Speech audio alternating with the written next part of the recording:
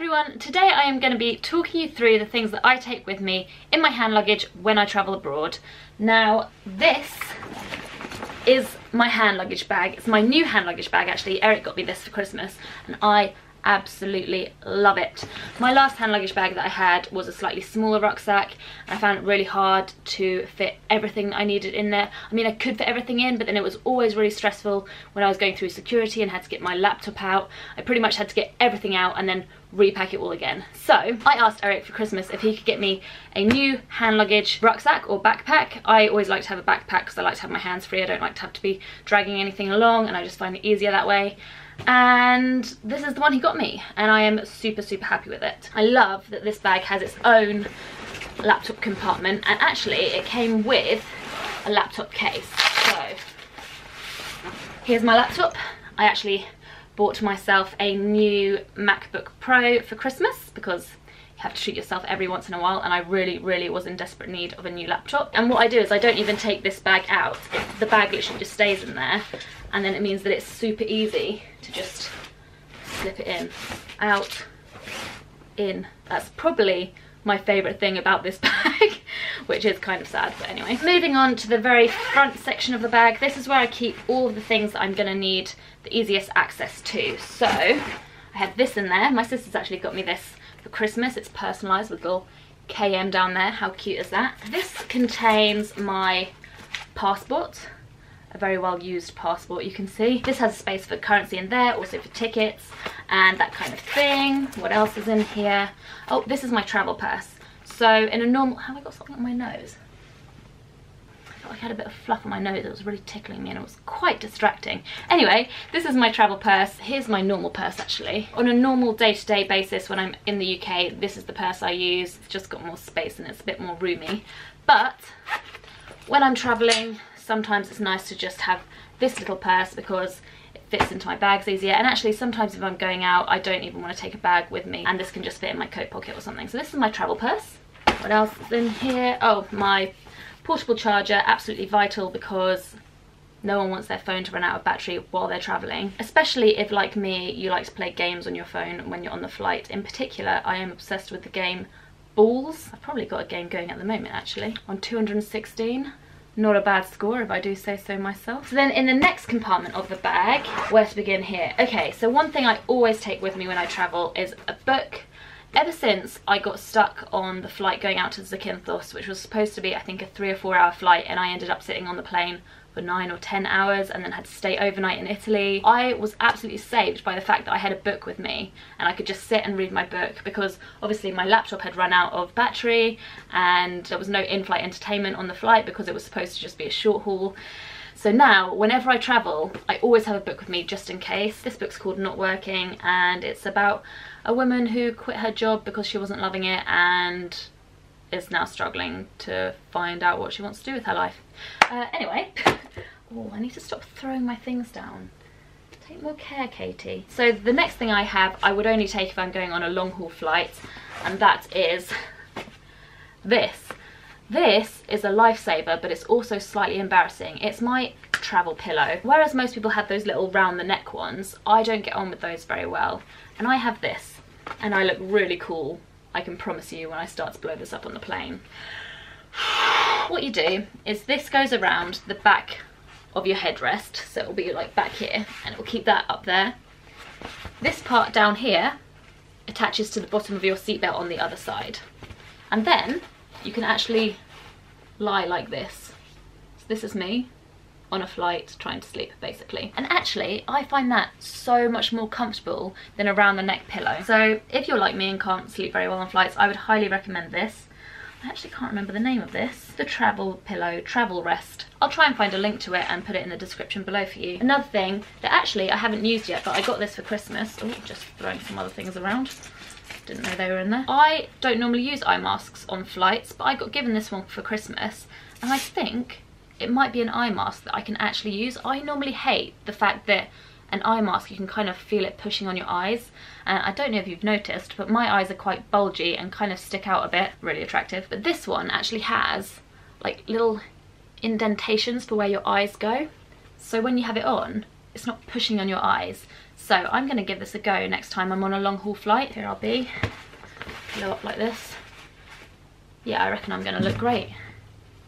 I also always have on a flight with me a notepad and pen, just in case I'm sitting there and I think of anything that I really want to write down, which sounds so stupid, but I feel like on a flight, especially a long haul flight when you've got a lot of time to just sit and think, that's when I come up with ideas for videos I want to film or moves I want to try and it's really frustrating if you get off the flight on the other side and you can't remember what the ideas were that you had. So I like to have a little notebook and pen with me so I can jot those kind of things down. The things I was throwing about earlier were some tablets. I've got some allergy tablets with me because I'm allergic to quite a lot of things and ibuprofen because if you're on a flight and you get a headache it's really not the one so you can just pop some pills. Speaking of allergies I also have my EpiPen with me. I've got a nut allergy so I carry one of these with me everywhere I go. Well I'm supposed to anyway. I have to say sometimes I do forget and people get very angry with me because I don't always have it with me. This is actually a Jext pen not an EpiPen. Most of you probably won't need to remember to take that when you fly, but I do. And I always keep that in one of these see-through plastic bags that I can then just pop all of my other liquids in. Speaking of which, here's another one. Moisturizer. Moisturizer is absolutely essential on a flight, for me anyway. I have really dry skin at the best of times, but when I'm on a flight and the air is so dry, I just shrivel up, shrivel up, that's a bit extreme. My skin just gets super, super dry, so I always, always have moisturiser with me on a flight.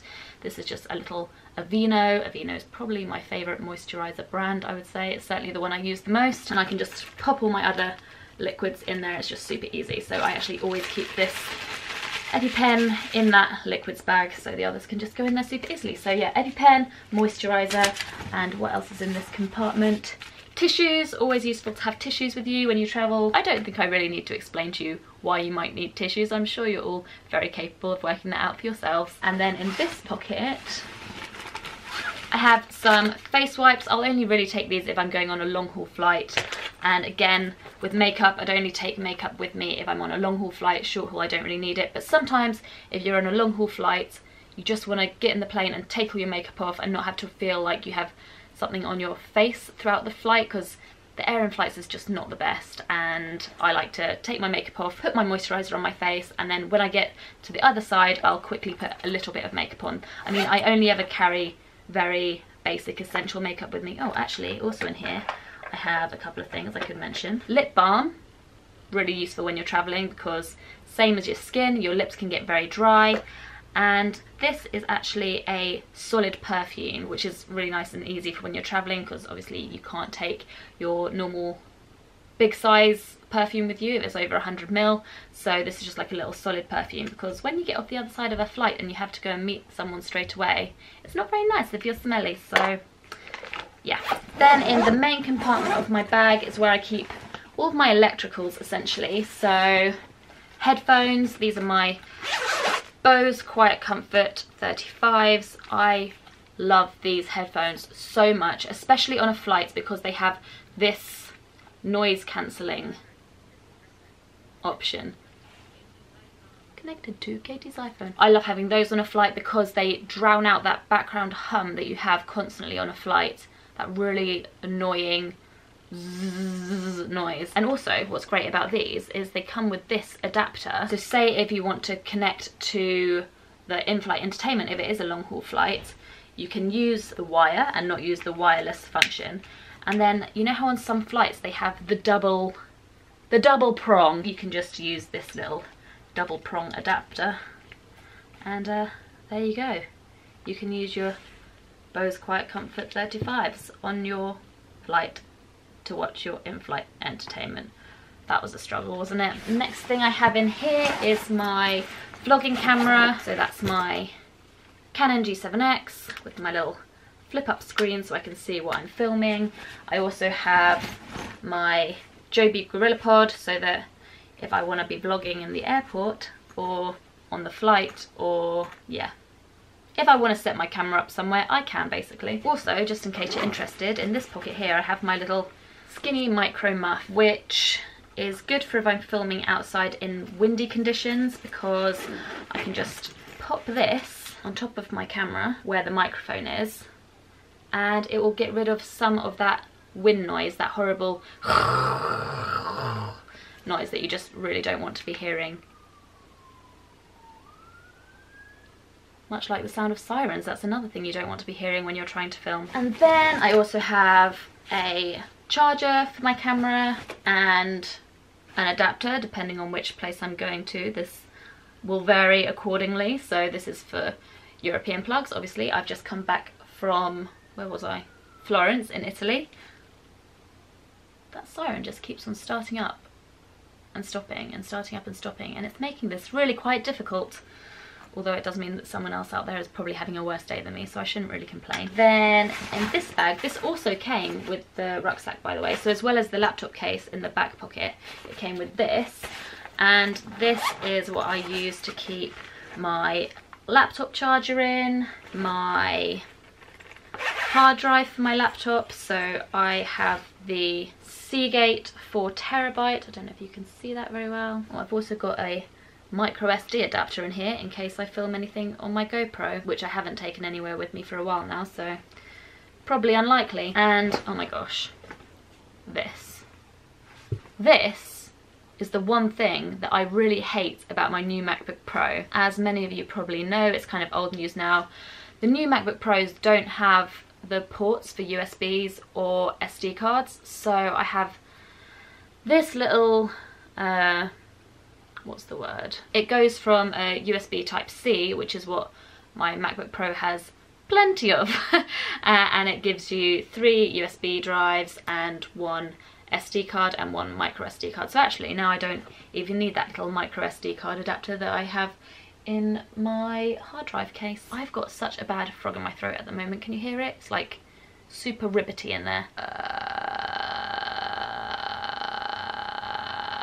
I think that's everything then really. I don't think there was anything else I needed to say. Oh, actually, one thing I did want to mention was that if you are travelling on a long haul flight in particular, I like to have a scarf with me. I've had experiences of being really, really cold on flights and even if I've had jumpers on, if my neck's sticking out, my neck has got really cold before and I've ended up arriving in a place with a really sore throat. In fact, a couple of years ago, in fact, almost exactly a couple of years ago when I flew out to LA to shoot a commercial, I arrived with a really sore throat from being so cold on the flight and the next day I woke up with no voice. Which as you can imagine is really fun when you're trying to work on a commercial and you need to be able to communicate with people. Anyway, uh, that's just another little tip, but that's it for this video. I hope you enjoyed it. Let me know if you did and if you didn't then you can let me know too, but try not to be too mean. I'm just trying to think of ideas for content here, guys. And any ideas you do have of other things you would like to see. As you know, I'm trying to put up one of these kind of videos once a week now, which is kind of a big jump from what I'm used to. Uh, so let me know in the comments below and I'll see you next time, guys.